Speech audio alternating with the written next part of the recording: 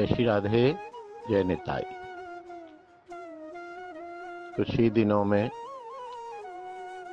जन्माष्टमी का उत्सव आने वाला है। वैष्णवों के इष्ट स्वयं भगवान श्री कृष्ण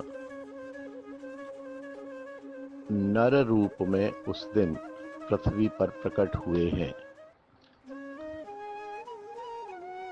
उस दिन हम व्रत करें या ना करें, इस विषय में जो प्रश्न पूछा है,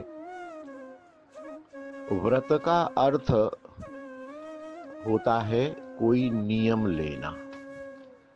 व्रत का एक दूसरा पर्याय भी है उपवास। उपवास माने भगवान के पास में वास, भगवान के इर्द गिर्द भगवान के आस पास बने रहना।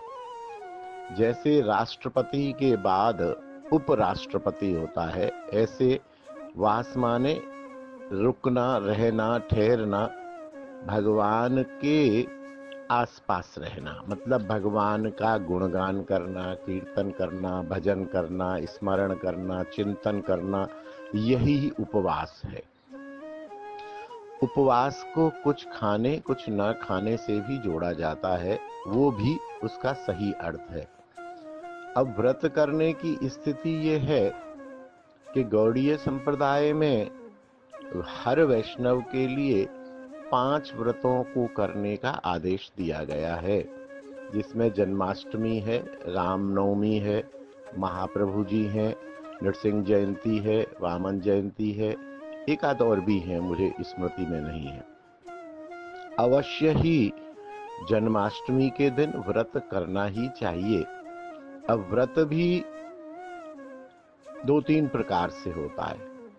एक तो ऐसे होता है कि सुबह से हम निराहार रहें, दोपहर में ठाकुर का अभिषेक होता है, चाहे वो घर में हम पंचामृत से अभिषेक कराएँ अपने श्री विग्रह का या कहीं मंदिर में हमारी श्रद्धा हो तो वहाँ जाएँ, वहाँ का अभिषेक हो जाए। अभिषेक के बाद वो अभिषेक का पंचामृत लेके उससे व्रत खोल लें और उसके बाद सामान्य भोजन, सामान्य प्रसाद जो भी पाना है पा लें। इसमें दूसरा विकल्प ये रहता है कि अभिषेक के बाद हम व्रत खोल लें और फिर एकादशी जैसा व्रत रखें, सुबह पारण करके सुबह दूसरे दिन फिर व्रत खोलें।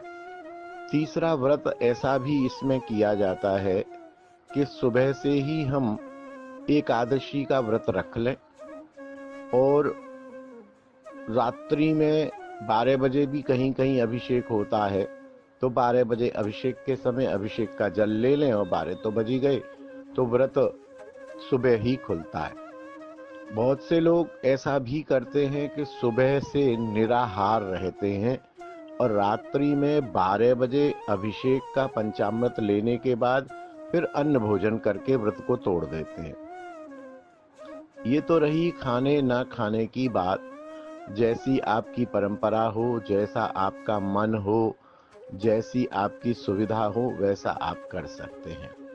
भोजन का जो कंट्रोल शास्त्र में बताया गया है, उसका एकमात्र कारण है कि हमारे अंदर सात्विक भोजन जाए या भोजन न जाए तो भोजन से उत्पन्न होने वाले जो राजसिक, तामसिक विकार हैं, वो हमारे शरीर में न हो, क्योंकि राजसिक, तामसिक विकार नहीं होंगे तो हमारा मन स्थिर रहेगा, चंचल कम होगा चंचल न होने पर हम भजन में लगें। ठाकुर की सेवा में लगें, ठाकुर के चिंतन में लगें, ठाकुर के ध्यान में लगें, ठाकुर की सेव, पूजा में लगें, ठाकुर के श्रृंगार में लगें, ठाकुर के लिए बढ़िया बढ़िया पदार्थ बनाएँ।